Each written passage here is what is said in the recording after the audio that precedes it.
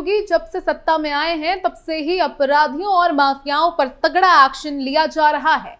वो राज्य जो एक समय पर अपने अपराधों के लिए जाना जाता था, वो आज अपराध मुक्त राज्य के रूप में जाना जाता है। नमस्कार, आप देख रहे हैं कैपिटल टीवी की स्पेशल स्टोरी और मैं हूँ आपके साथ राजप्रीत कौर। आज के स्पेशल स्टोरी में बात करेंगे पुलिस मुठभेड़ और गौ तस्करी के मामले के बारे में। साथ ही बताएँगे, ऐसे ही कुछ और मामलों के बारे में तो बिना देरी किए चलिए शुरुआत करते हैं।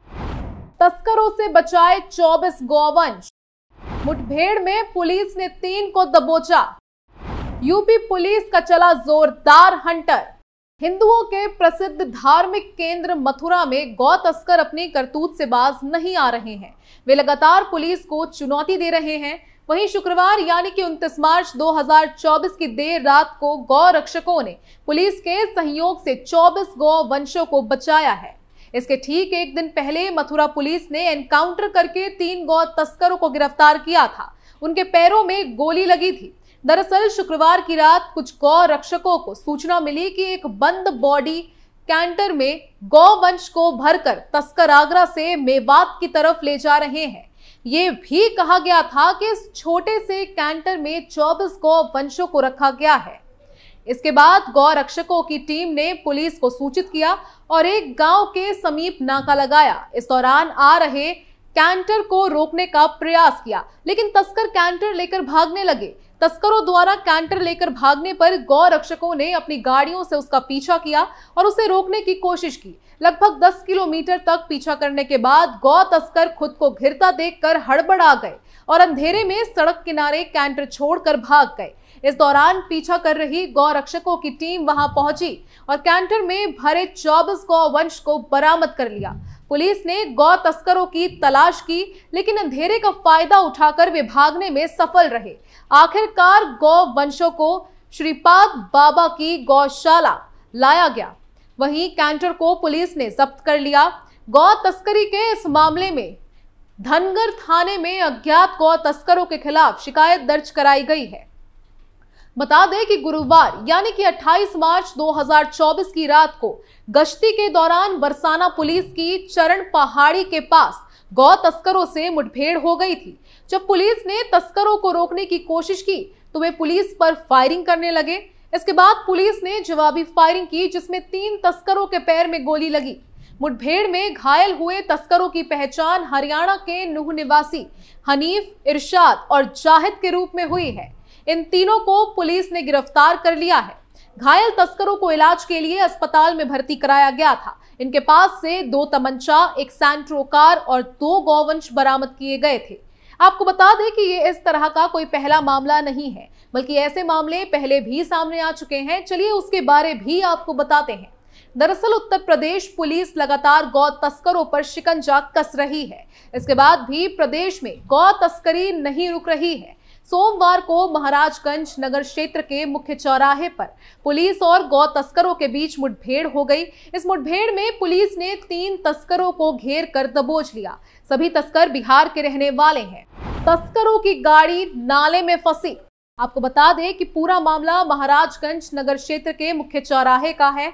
यहाँ सोमवार की देर शाम साढ़े नौ बजे पुलिस गश्त पर थी। इस टीम में सीओजी प्रभारी महेंद्र यादव स्वाट टीम प्रभारी योगेश सिंह सर्विलांस सेल प्रभारी उमेश यादव, शैलेंद्र त्रिपाठी शामिल थे। इसी दौरान एक पिकअप गाड़ी आते देख टीम ने रोकने का इशारा किया। पुलिस टीम द्वारा हाथ दिखाने पर पशु तस्करों ने गाड़ी भगाते हुए फायरिंग शुरू कर दी। इस दौरान तस्करों की गाड़ी सड़क किनारे एक नाले में फंस गई, जहाँ गाड़ी से उतरकर तीनों तस्कर फायरिंग करते हुए भागने का प्रयास करने लगे। पुलिस टीम ने घेराबंदी कर तीनों ही गौ तस्करों को गिरफ़्तार कर लिया। इस दौरान वहाँ पहुँची भीड़ ने गौ तस्करों की गाड़ी में जमकर तोड़फोड़ की। पुलिस ने क्या बताया? वहीं इस पूरे मामले में एसीपी आतिश कुमार सिंह ने बताया कि नगर चौकी के सामने सोमवार की रात पशु तस्करों व पुलिस के बीच मुठभेड़ हो गई थी।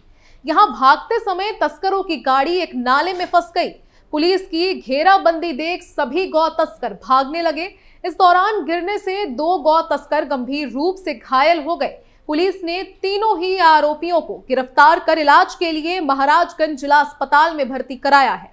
इसके साथ ही सभी पर कानूनी कार्रवाई की जा रही है। बिहार के रहने वाले हैं पशु तस्कर। पुलिस के मुताबिक मुठभेड़ में गिरफ़्तार हुए तीनों पशु तस्कर बिहार के चंपारण के रहने वाले हैं। तीनों का नाम रुस्तम लाल बहादुर और शाह आलम है। इन आरोपियों में से रुस्तम पुरंदरपुर थाने का मोस्ट वांटेड अपराधी है। बता दें कि भागने के दौरान रुस्तम और लाल बहादुर चोट लगने से गंभीर रूप से घायल हो गए हैं। वहीं यूपी के मेरठ से भी ऐसा मामला सामने आ चुका है। दरअसल उत्तर प्रदेश पुलिस ने मेरठ ज़िले के खरखौदा थाना क्षेत्र में मुठभेड़ के बाद दो गौ तस्करों को गिरफ़्तार किया है। एक पुलिस अधिकारी ने रविवार को ये जानकारी दी। उन्होंने बताया कि मुठभेड़ के दौरान पैर में गोली लगने की वजह से एक गौ तस्कर को अस्पताल में भर्ती कराया गया है। जबकि तीन अन्य गौ तस्कर अंधेरे का फ़ायदा उठाकर भागने में कामयाब रहे। उनकी गिरफ्तारी के प्रयास अभी किए जा रहे हैं। वहीं मेरठ के वरिष्ठ पुलिस अधीक्षक एसएसपी रोहित सिंह सचवाण के मुताबिक खरखौदा थाना पुलिस को रविवार तड़के मुखबिरों से सूचना मिली कि कुछ गौ तस्कर घोसीपुर गाँव के पास एक खाली प्लॉट में बने छप्पर में गौकशी की घटना करने की फिराक में है। उन्होंने बताया कि सूचना पर तत्परता से कार्रवाई करते हुए पुलिस टीम बताए स्थान पर पहुँची तो गौ तस्कर वहाँ से भागने लगे। सचवाण के अनुसार पुलिस टीम ने गौ तस्करों की घेराबंदी की, जिसके बाद गोलीबारी करने लगे। उन्होंने बताया कि जवाबी गोलीबारी में एक गौ तस्कर घायल हो गया। पुलिस उसे और उसके एक साथी को गिरफ़्तार करने में सफल रही। गिरफ़्तार किए गए गौ तस्करों के कब्जे से एक मोटरसाइकिल, एक तमंचा, एक ज़िंदा और एक खोखा कारतूस, एक छुरा, गौ मांस मांस काटने के उपकरण बरामद किए गए हैं। उन्होंने बताया कि मुठभेड़ में घायल बदमाश की पहचान, शदाब और उसके गिरफ़्तार साथी की पहचान आफ्ताब के रूप में की गई है। दोनों खरखौदा थाना क्षेत्र के घौसीपुर के रहने वाले हैं। सचवाण के अनुसार मामले में खरकौदा थाने में हत्या के प्रयास, गौवध अधिनियम और आर्म्स एक्ट की प्रासंगिक धाराओं के तहत प्राथमिकी दर्ज की गई है। सचवाण के मुताबिक घायल गौ तस्कर को अस्पताल में भर्ती कराया गया है। उन्होंने बताया कि तीन गौ तस्कर अंधेरे का फ़ायदा उठाकर मौके से फरार हो गए। पुलिस उन्हें गिरफ़्तार करने की कोशिश में जुटी हुई है। वहीं जहाँ एक तरफ़ गौ हत्या के मामले रुकने का नाम नहीं ले रहे हैं तो वहीं दूसरी तरफ़ ऐसे भी कई मामले सामने आ चुके हैं जहाँ गौ तस्करों ने खुद पुलिस थाने पहुंचकर सीएम योगी और एनकाउंटर के डर से सरेंडर किया है। चलिए ऐसे ही कुछ मामलों के बारे में आपको बताते हैं और उनसे आपको रूबरू कराते हैं। साहब साहब, हमें गिरफ़्तार कर लीजिए। हम गौ तस्कर हैं और पुलिस हमारे पीछे पड़ी हुई है। हमें डर है कि पुलिस मुठभेड़ में हमें गोली मार कर घायल ना कर दे। हमारे खिलाफ गौ तस्करी का मुकदमा दर्ज है। भविष्य में इस तरह का अपराध हम नहीं करेंगे। इस बार माफ़ कर दीजिए। ये सुनकर इंस्पेक्टर दिनेश कुमार चिकारा और थाने में मौजूद पुलिस कर्मी और फरियादी दंग रह गए। इंस्पेक्टर के कहने पर पुलिस ने दोनों से पूछताछ की और गिरफ़्तार कर हवालात में बंद कर दिया। फरार चल रहे थे आरोपी। उत्तर प्रदेश में आजकर पुलिस का इकबाल जागा हुआ है। दहशत के कारण बदमाश आत्मसमर्पण करने के लिए थानों में पहुँच रहे हैं। गौ तस्करी के दो आरोपी इसी डर के कारण दोघट थाने पहुँचे और पुलिस के सामने आत्मसमर्पण कर दिया। दरअसल, फौलाद नगर गाँव के जंगल में एक महीने पहले कुछ गौवंश बंधे मिले थे। सूचना के बाद पुलिस ने गौवंश को मुक्त कर दिया था।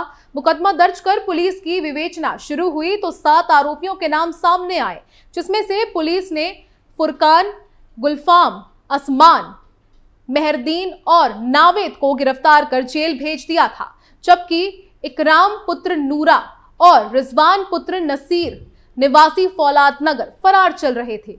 नहीं करेंगे अपराध। पुलिस के डर से दोनों आरोपी हाथ उठाकर दोघट थाने पहुँचे और थाने में घुसते ही दोनों ने हाथ उठा लिया। दोनों आरोपियों ने कहा कि हमारे खिलाफ गौ तस्करी का मुकदमा दर्ज है। हमें गिरफ़्तार कर लीजिए।